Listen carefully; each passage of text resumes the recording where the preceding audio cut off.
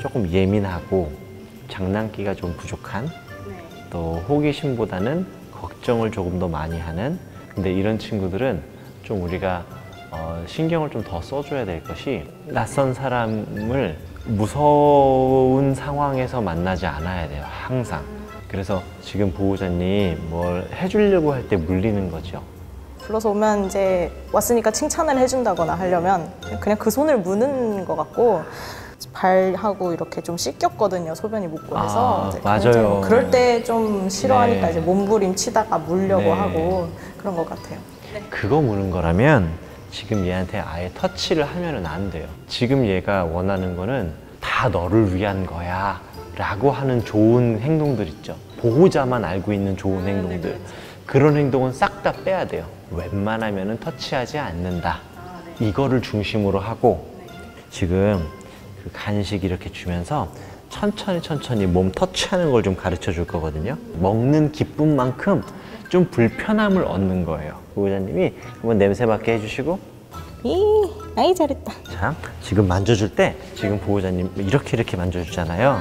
근데 그렇게 하지 말고 조금 수위를 낮춰보자고요. 살짝 됐다가 뗀다라는 느낌인 거예요.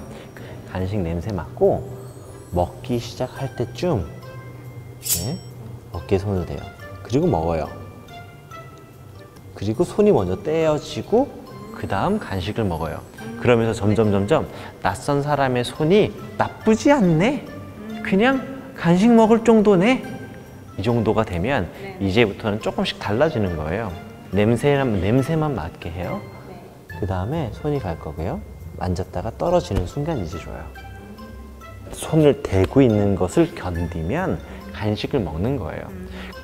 네, 냄새 맡으면 이제 그때 손 살짝 얹으시고 간식 주세요. 먹고 손 떼고 다 먹고 그렇죠. 주지는 마시고 이제 왼손이 강아지 몸에 갔고요. 하나 둘 됐어요.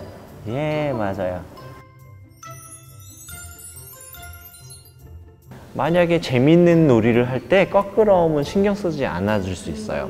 근데 지루한 책을 읽을 때는 아, 이 껄끄러워가지고 이 책도 못 보겠네. 라고 하게 되잖아요. 그런 식으로 조금씩 조금씩 보호자님, 또 엄마든 우리 보호자님이든 이렇게 간식 주면서 터치에 대한 둔감함을 늘려주, 늘려주자고요. 처음에는 어깨, 뭐, 뭐, 머리, 다리, 꼬리 이런 식으로 하나씩 하나씩 알려주는 거예요. 어, 새로운 사람들을 만나서 가까이 있지만 만지려고 막 노력하지 않고 보호자님하고 이야기하잖아요. 이런 사람을 자주 만나야 돼요. 이 친구 초기에는 빵 만져주기보다 지금처럼 밥 너무 좋아하니까 밥 먹을 때마다 이런 연습을 좀 해보는 거예요. 평소에는 가만히 놔두는 게 가장 좋은 것 같아요. 예, 만지거나 안아주거나 그거는 최대한 줄이면 좋고요. 만약에 만져도 돼요. 만지고 싶을 때는 이걸 연습하는 거예요.